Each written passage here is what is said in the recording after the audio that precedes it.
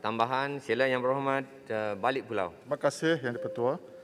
Um, Timbalan Menteri ada satu perjumpaan Konsul Haji Malaysia di bawah Lembaga Tabung Haji dengan Kementerian Haji dan Umrah pada 6 September 2021 tapi kita tidak dapat laporan daripada uh, kementerian mengenai uh, isi kandungan perbincangan tersebut.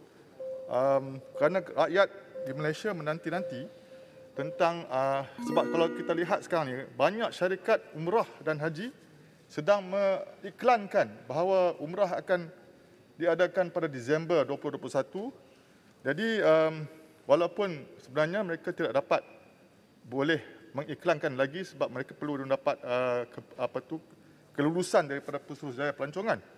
Uh, mungkin uh, soalan ini juga dia kena bahagi kepada dua sebab urusan haji di bawah uh, Menteri Agama dan urusan umrah di bawah Motek. Jadi kita harap Motek juga dapat uh, memberi jawapan tentang soalan nombor lima ini mengenai uh, uh, pandemik ataupun urusan umrah selepas uh, pandemik ini. Sekian, terima kasih. Sila Timbalan Menteri.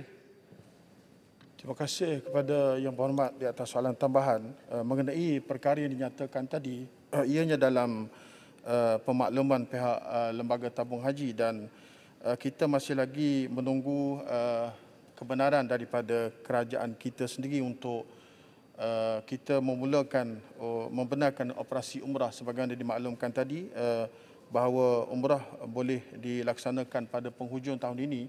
Walau bagaimanapun kita masih lagi dalam rangka beberapa SOP yang perlu dan juga beberapa syarat yang diperlukan untuk melaksanakan uh, umrah pada penghujung tahun ini. Untuk lebih terperinci saya akan jawab secara bertulis kepada yang berhormat insya-Allah. Sekian terima Mungkin kasih. uh, Terima kasih, minta Menteri. pihak Motek juga menjawab uh, mengenai umrah ya. Jawapan tulis. Baik. Terima kasih. Seterusnya